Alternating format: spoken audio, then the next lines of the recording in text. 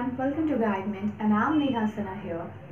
Today I'm going to discuss the third chapter of the book Behind of Standard 9 and the name of the chapter is The Little Girl written by Catherine Mansfield. ये story बहुत ही interesting है ये father और daughter की bond के बारे में है इस स्टोरी की मेन कैरेक्टर जो कि प्रोटेगनिस्ट है जिसका नाम केजिया है केजी एक छोटी सी प्यारी सी बच्ची होती है और उसे अपने पिता से बहुत ज़्यादा डर लगता है। कुछ कारण है उसे अपने पिता से डर लगने का, क्योंकि वो बहुत ही बिज़ी होते हैं अपने लाइफ में और वो उसे टाइम नहीं दे पाते इस कारण से वो बहुत ज़्यादा डरती है और उसे लगता है जब भी अगर वो बात करने जाती है तो काफ़ी तेज़ आवाज़ में वो बोलते हैं या फिर उसकी गलतियों को टोकते हैं। तो उस, उसको ये लगता है कि उसके पिता बहुत ही ज़्यादा रूड हैं और बहुत ही ज़्यादा गुस्सैल हैं लेकिन कोई इंसिडेंस होता है उसके लाइफ में, तब उसे एहसास होता नहीं। उसके पिता भी ऑर्डिनरी पिता की तरह हैं और वो भी उससे बहुत प्यार करते हैं। और ये सारे मेन कैरेक्टर्स का नाम एक्चुअली ये सारे कैरेक्टर्स हैं। मेन कैरेक्टर्स तो केजिया ग्रैनी केजियास फादर ये है। ये सारे टोटल कैरेक्टर्स जितने भी डिस्कस हुए हैं चैप्टर में, उनके नाम लिखे गए तो ग्रैनी उसकी ग्रैंड मदर है। एलिस कुक है केजिया की, और मिस्टर मैकडोनल्ड नेबर है, जो केजिया के घर के जस्ट बगल में रहते हैं, और इनके पाँच बच्चे हैं। अब, कहानी इसकी शुरुआत होती है कि सुबह जैसे ही होता है केजिया के फादर आते हैं उसके रूम में केजिया के पास, और उसके फोर हेड पर किस करते हैं और उसे वेकअप करते हैं। और केजिया बस थोड़े डर के साथ उठती है, अपने फादर को देखती है, वो गुड बाय बोलकर चले जाते हैं। और उनके कार के हॉर्न जब सुनाई देती है उसे कि उनकी गाड़ी जा चुकी है तो केजिया रिलैक्स होती है। Thank God he has gone now उसके बाद शाम को जैसे उसके फादर के वापस आने की आवाज़ आती है तो केजिया डरी सहमी सी स्टेयरकेस पर वो ऊपर ही अपने अपर फ्लोर पर रहती है। फिर उसकी मदर जब उसे कॉल करती है, तब वो नीचे आती है। और उसके फादर उसे जब कोई भी सवाल पूछते हैं तो वो स्टैमर करती है। वो हकलाती है बोलने में उसे डर रहता है हमेशा। और उसके फादर तब उसे कहते हैं कि इस तरह से तुम हमेशा स्टैमर करती रहोगी तो मैं तुम्हारी मम्मी से कहूँगा कि तुम्हें डॉक्टर को दिखा दे। क्योंकि तुम्हें हो सकता है स्टैमरिंग की प्रॉब्लम हो स्टार्टर करती हो तुम। लेकिन उसे ऐसा कोई प्रॉब्लम नहीं था। वो किसी के साथ हेजिटेट नहीं करती थी, किसी के साथ बात करने में स्टैमर नहीं करती थी, सिर्फ़ और सिर्फ़ अपने फादर के साथ बात करने में उसे डर लगता था और उसकी ज़ुबान जो है लड़खड़ाती थी। वो एक डर और खौफ उसके मन में था। तो वही प्रॉब्लम हो रही थी। नॉर्मली इन दोनों के बीच में वो बॉन्ड नहीं बन पाया था, जो कि बहुत ही खूबसूरत बॉन्ड होना चाहिए। कुछ होता है जो कि अचानक से बॉन्ड काफ़ी खूबसूरत होता है तो इसके लिए स्टोरी सुननी पड़ेगी आपको। केजिया की ग्रैंड मदर हमेशा कोशिश करती है कि केजिया अपने पेरेंट्स के साथ बहुत अच्छे से घुले मिले अटैच हो जाए। संडे के दिन वो हमेशा उसे भेजती है ड्राइंग रूम में जहाँ पे उसके पेरेंट्स रहते हैं। और उस टाइम केजिया की मदर अपने न्यूज़पेपर पढ़ने में बिज़ी रहती है और केजिया के फादर जो है सोफ़ा पे लाई करते हैं अच्छे से स्नोरिंग करते रहते हैं स्नोरिंग मीन्स खराटा लेते हैं। और वो चुपचाप से उन्हें स्टे करती है और जब वापस वो उठते हैं और उसे देखते हैं तो बोलते हैं you are looking like a brown owl तुम तो ब्राउन आउल की तरह दिख रही हो इस तरह मुझे स्टेयर करते हुए। तो उसे वो सब कुछ स्टेटमेंट जो है, जो कि वो मीस मज़ाक से कहता है और उसे वो सब चीज़ अच्छा नहीं लगता, उसे लगता है कि उसके पिता उसे डांट रहे हैं। ये सबसे वो दूर रहती है। तो उसके बाद फिर केजिया की ग्रैंड मदर एक दिन उसे बताती है कि एक वीक बाद तुम्हारे फादर का बर्थडे आने वाला है। तो तुम कुछ बर्थडे गिफ्ट के लिए प्रिपेयर करो। और उसे एडवाइस देती है कि तुम्हें कुशन बनाना चाहिए पिन कुशन बनाना चाहिए। तो उसे अच्छा भी लगता है आइडिया और वो बनाना भी स्टार्ट करती है। तो पिन कुशन जैसे बनाती है। तो अब उसके पास उसे भरने के लिए कुछ भी मटेरियल नहीं था। तो सडनली वो अपने पेरेंट्स के रूम में जाती है और बहुत सारे न्यूज़पेपर वहाँ पे पेपर न्यूज़पेपर सब पड़ा हुआ नज़र आता है। एक पेपर टेबल पर था। उसे उठा लेती है, उसे ट्योर करती है और उसे फिल कर देती है। क्वेश्चन में। क्वेश्चन उसका रेडी है she is very happy but suddenly सामने उसे आवाज़, बहुत सारी आवाज़ें शोर सुनाई देती है। नीचे के फ्लोर में जब वो ऊपर के फ्लोर पे थी। और सडनली उसकी मदर आकर पूछती है, क्या तुमने कोई पेपर इंपॉर्टेंट पेपर हमारे रूम से उठाया है? तो उसे लगता है हाँ ऑर्डनरी से तो पेपर था। बोले हाँ मैंने उठाया है और मैंने उसे पेन क्वेश्चन में डाल दिया। उसकी मदर तो बहुत टेरिफाइड हो जाती है वहाँ पर, क्योंकि वो फादर का बहुत ही, उसके फादर का केजिया के फादर का बहुत इंपॉर्टेंट पेपर था। अब उसे लेकर उसके फादर के पास जाती है।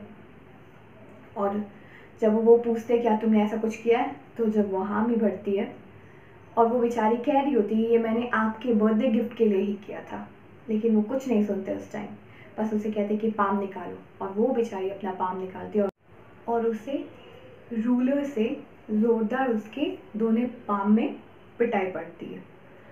उसके फादर को भी बहुत ज़्यादा गुस्सा आया होता है और वो उसे पीट देते हैं। एक्चुअली वो ऐसा इसलिए करते हैं क्योंकि वो स्पीच उन्हें पोर्ट अथॉरिटी के लिए, उस टाइम देनी थी और उनके लिए बहुत इम्पोर्टेंट था। तो उस टाइम उन्हें सही गलत को समझ नहीं आ रहा तो उन्हें बस ऐसा लग रहा था कि उन्हें केजिया के कारण नुकसान हुआ है। और केजिया ने कुछ भी नोइंगली तो किया नहीं था। तो इस कारण से ये गैप क्रिएट हो जाता है फादर और डॉटर के बीच में, जो कि एक मिसअंडरस्टैंडिंग थी ऑल दो नोइंगली कुछ भी नहीं था बट स्टिल क्रिएट हो जाता है। और उसके बाद उसे पाम में जब पिटाई पड़ती है और रूलर से, उसके फादर ने उसे दो दो पाम में पीटा था तो बहुत ज़्यादा उसके अंदर अब खौफ भर जाता है। अब जब भी वो अपने फादर को देखती है तो अपना पाम पीछे कर लेती है, क्योंकि इससे पहले हमेशा उसे डांट पड़ी थी। पहली बार उसे पिटाई पड़ा था तो अब उसके दिमाग में वो छाप छूट चुका था, बहुत ही बड़ा इम्पैक्ट आ चुका था।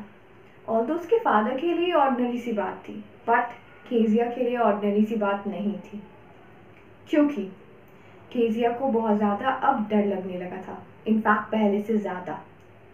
अब उसे ऐसा लगता था कि शायद उसे छोटी, उससे छोटी सी गलती हो जाएगी और उसके फादर उस छोटी सी गलती के लिए उसे फिर डांटेंगे। तो ये सब प्रॉब्लम बढ़ने लगा था। और वो धीरे धीरे दूर होने लगी थी और अपने फादर से। और इधर जब भी केजिया मिस्टर मैकडोनल्ड को देखती थी अपने बच्चों के साथ। वो हमेशा एकदम हँसी खुशी से खेलते रहते थे, उनके पाँच बच्चे थे और उनके साथ बहुत अच्छे से खेलती थी।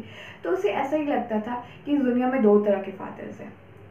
एक फादर जो कि केजिया के थे, जो काफ़ी स्ट्रिक्ट थे और उनके पास टाइम नहीं था केजिया के लिए और दूसरे फादर मिस्टर मैकडोनल्ड जो कि अपने बच्चों के साथ बहुत ही अच्छे से इंजॉय करते थे। इनफैक्ट हर एक मोमेंट को इंजॉय करते थे। तो वो डिफरेंट टाइप के फादर थे और वो सोचती थी शायद उसके किस्मत में ही नहीं ऐसे फादर हैं। लेकिन ये जो उसका थॉट है, तब क्लियर होता है जब सडनली एक दिन उसकी माता का तबीयत खराब हो जाता है और वो हॉस्पिटल में एडमिट होती है। तो उस टाइम जब वो हॉस्पिटल में एडमिट होती है तो उसकी ग्रैनी जो कि केजिया की बहुत बड़ी सपोर्टर थी, उनको भी उस, उनके साथ उस, उनकी मदर के साथ हॉस्पिटल में रहना पड़ता है। और फिर अब वो नाइट उसे अकेले स्पेंड करना है। तो पूरे दिन तो उसके साथ एलिस जो कि कुक है।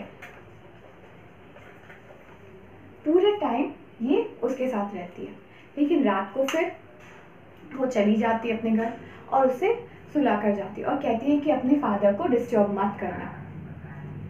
और के, केजिया उसे डर भी लगा रहता है क्योंकि उसे नाइट मेयर्स आते हैं। नाइट मेयर्स मीन्स बुरे सपने आते हैं।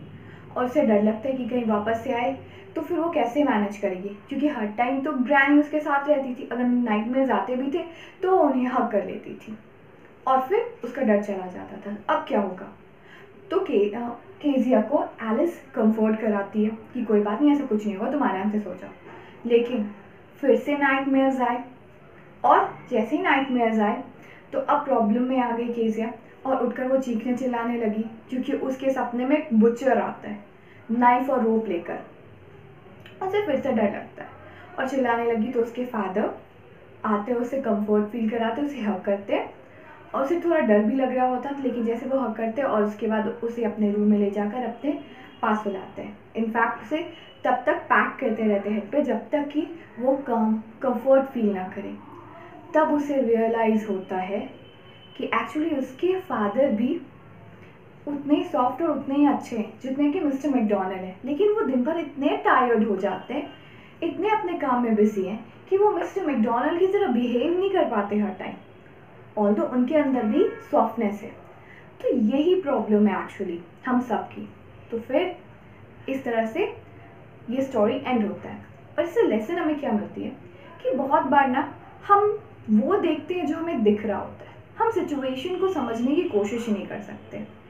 यहाँ पे एक और मेरा प्रभाव आएगा। Read within the line actually हम लोग ना उस सिचुएशन को आप अंदर तक समझ नहीं सकते कि कोई इंसान अगर कुछ बिहेव कर रहा है मेरे साथ तो रीज़न क्या है उसका? बस हमें ये दिखता है। नहीं, वो काफ़ी गुस्सा है मुझसे। क्यों गुस्सा है, क्यों नहीं है, क्या है, ये नहीं पता। और दूसरा हम लोग को ये सीखने को मिलता है कि हमारे पेरेंट्स हमारे हमारे लिए हमेशा अच्छा ही सोचते हैं। वो हमारा बुरा कभी नहीं चाह सकते, कभी नहीं सोच सकते। हम कुछ भी कर रहे हो और अगर वो हमें रोक रहे हैं इट मीन्स कुछ ना कुछ उसमें हमारी अच्छा ही। है so we should always love a parents more than anyone on this earth ये एंड स्टोरी का। और अब स्टार्ट करते हैं ईडियम्स होप सो अब आपको दिख रहा होगा क्लियरली अब आप समझ सकते इजली पहला गिव कोल्ड शोल्डर मतलब पे नो अटेंशन इसका हम लोग कह सकते हैं example since the very beginning of the session you gave cold shoulder to your studies so right now you have to pay for it मतलब शुरू से तुमने ध्यान नहीं दिया, अब तो तुम्हें पे करना पड़ेगा. In the air in the air का मतलब पीपल्स थॉट कोई चीज़ जो चर्चा में होती है। For example right now the dispute between India and China is in the air means ये चर्चा में बात चल रही है। ओके अब तीसरा हिमालयन ब्लैंडर हिमालयन मतलब बड़ा ब्लैंडर मतलब कोई गलती मतलब बहुत बड़ी गलती। Serious mistake you know that girl अब इसके एग्ज़ाम्पल कैसे हो सकते हैं? You know that girl has cheated exam, cheated in her exam. It was a himalayan blunder. बहुत बड़ी गलती है। ग्रीन हॉर्न फोर्थ वन अब इसका मतलब क्या हुआ? कोई भी इनएक्सपीरियंस इंसान जिसको कि आसानी से डिसीव किया जा सके, बहुत आसानी से उसको बेवकूफ़ बनाया जा सके, वो इमेच्योर इंसान होने के कारण वो बहुत जल्दी से बेवकूफ़ बन जाता है। तो इसका एग्ज़ाम्पल हो सकता है। Ram has to bear a lot of heavy loss just because he has trusted on a greenhorn. ठीक है? क्लियर हो गया ये फोर्थ अब fifth heart to heart means very frankly after a long time Shyam met with his friend and he has just a heart to heart conversation बहुत easy है कि हाँ बहुत ही फ्रेंकली वो अपने दोस्त से बात किया था। दैट्स इट आई थिंक आपको बहुत अच्छे से समझ आया होगा। और अगर कुछ नहीं समझ आए, कोई क्वेरीज है तो प्लीज़ कमेंट करें। Thank you have a nice day और सबसे इम्पोर्टेंट बात please like subscribe and comment